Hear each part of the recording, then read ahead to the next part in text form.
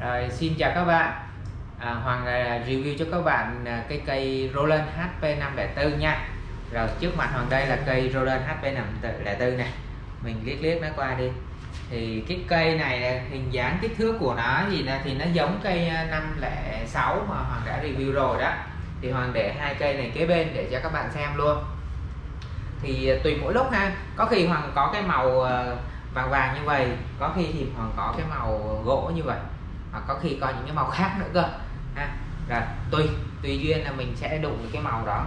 À, và cái cây 504 506 nó có khác nhau một chút định về cái ngoại hình đó, đó là cái cây 504 nó thấp hơn cái 506 một chút này. Thấp hơn một chút này. Đó rồi. Còn là các tính năng sử dụng thì nó cũng tương tự nhau thôi.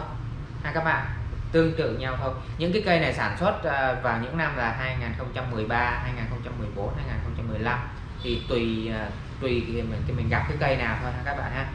Đây, mình à, vào vấn đề luôn. Thử tiếng đàn luôn cái này nha. Này, tiếng piano trước ha.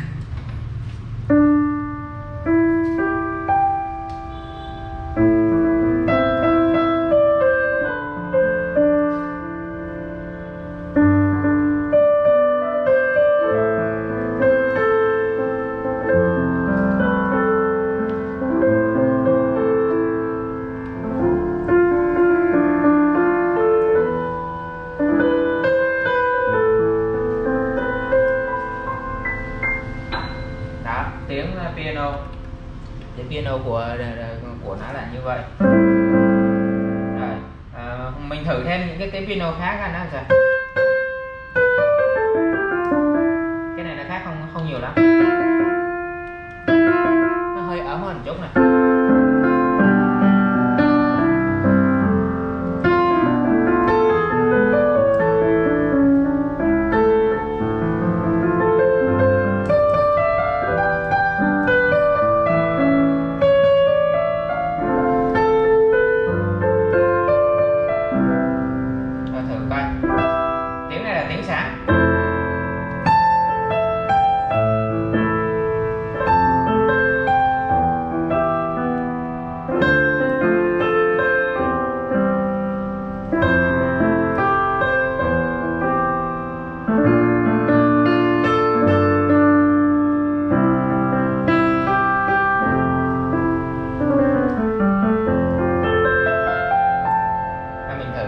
Bài ờ, bài trái tim bê rề đi.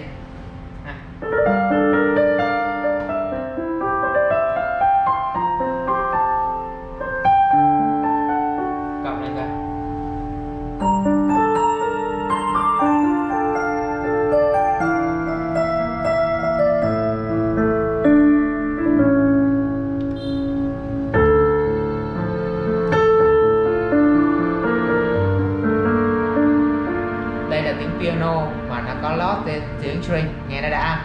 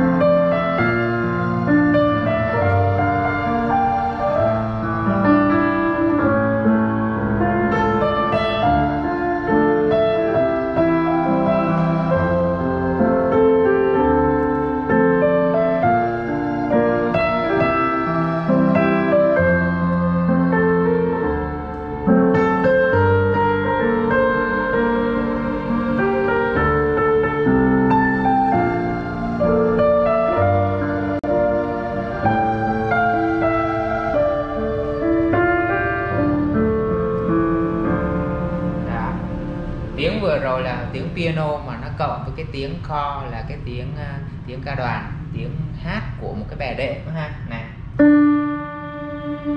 Đó cái phần lót là tiếng người nha.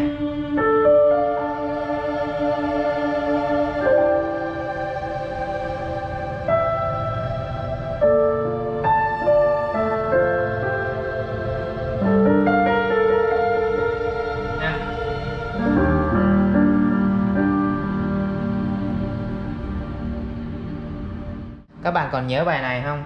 Bài này mà hoàng cho cái tiếng ờ, piano cộng với tiếng co là rất là hợp lý luôn. Đó à, nghe thử các quen không nha.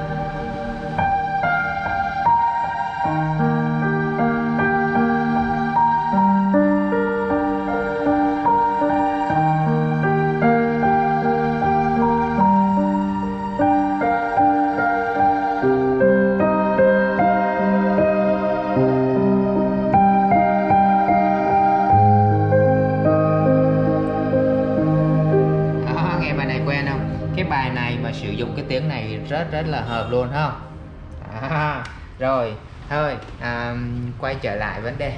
À, cái đàn này á thì sản xuất năm 2013 đến 2015 16 gì đó. Thì à, những cái cây này đến bây giờ chừng tầm à, chưa đến 10 năm à, thì cái chất lượng của nó vẫn còn rất là bảo đảm. À, thì à, những cây này giá đã qua sử dụng như thế này rồi thì nó còn tầm khoảng hai mấy thôi 22 đến 25 triệu thôi. Thì rất là dễ tiếp cận với mọi người không? giờ mà mua đàn cỡ cỡ này thì tính ngàn đô ngàn đô thì rất là vừa túi tiền rồi. Ngàn đô bây giờ mình mua uh, được cái điện thoại điện thoại càng ngày càng càng tăng giá đúng không? Uh, đàn thì đường cái nó cũng không có tăng ha. Mình cầm ngàn đô mình sử dụng những cái cây này thì ừ, đó nay trời mưa nè. Mưa làm gì? Mưa buồn mưa buồn lấy đàn ra đàn. rồi à, nói chung á là cây này tiếng hay phím hay. À, lên tới HP tiếng và phím rất là ok. Rồi đó là tin cậy để mình có thể mua về mình sử dụng. Các bạn ưa thích cái cây này thì các bạn lấy cây này. Còn không thì bỏ thêm một ít tiền nữa các bạn có thể nâng cấp lên các bạn sở hữu cây HP 506 hoặc là à, có khi có gì được là HP 508 nữa thì là càng tốt. HP 508 thì được ờ, thì bự bự hơn nó bự hơn hẳn luôn so với cái này nó bự hơn hẳn luôn đó. thì tùy kích thước ờ, trong gia đình ờ, trong cái căn phòng của mình thì mình sẽ chọn cái cây nào nó vừa với với mình thôi ha nhưng mà cái cây 508 cũng phải nói trước là nó rất là ít nó rất là ít bởi vì nó là hàng cao cấp nhất mà khi mà nó ra cũng tám mươi mấy triệu một cây thì thành ra trên thế giới uh, sản xuất đâu có thể sản xuất nhiều cái cây đó được bởi vì sản xuất nhiều quá thì cũng người mua 80 triệu cũng nhiều chứ. 80 triệu là ba ngàn mấy bốn ngàn mấy gì đó. Đó mắc lắm. Thành ra lâu lâu mới có cái cây ờ, đã qua sử dụng. Ừ, thành ra nếu mà các bạn mà thấy được cái cây đó là các bạn cứ mua luôn đi. Cứ mua luôn đi cho nó chắc ăn không có để đó người khác mua mất tiêu. Rồi cảm ơn các bạn. Nếu cái video này hữu ích mong các bạn ờ, nhấn subscribe và share cho mọi người cùng biết để mọi người có kiến thức về uh, mua mua đàn ha. À, cảm ơn các bạn.